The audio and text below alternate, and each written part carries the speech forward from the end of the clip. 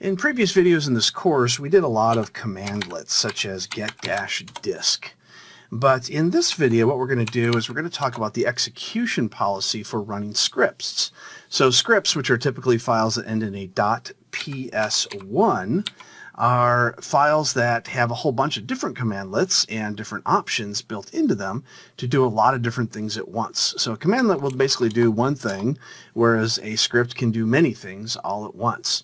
That's a overly broad uh, way of looking at it, but it just gives you a good idea. So if we type in the get-execution policy, it'll tell us if we can run scripts or not. And we can see we can only run remote signed scripts. So what does that mean? Well, let's go ahead and type the set-execution policy. This is how you set it to be uh, what you want.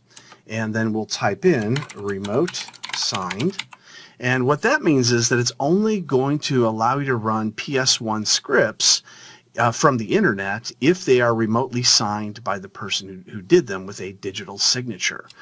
So we'll go ahead and press uh, the A for yes to all. And now we have our execution policy, which is exactly what it was before, set to remote signed. So there's a couple other options besides the remote signed, and one of those is restricted. So let's go ahead and type in restricted. And restricted says, hey, guess what? You can't run any PS1 scripts. You can still run the commandlets, know, where, such as the get-disk, but you cannot run anything that ends in a .ps1. So what that is is a, a security uh, policy that keeps other people from remoting into your computer and running a script uh, using PowerShell and causing all kinds of havoc putting viruses on, stealing data, that kind of thing.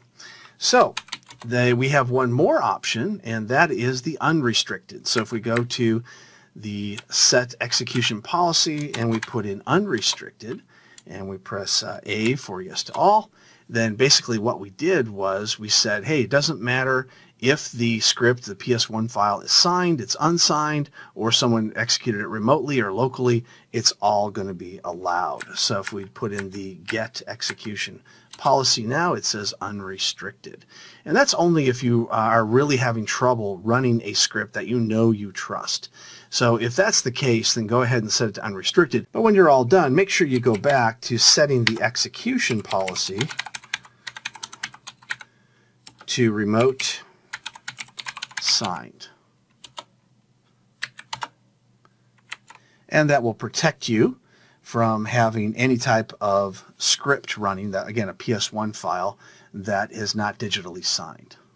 So that is how and why you set execution policy in Windows Server as well as Windows 10 and other workstations.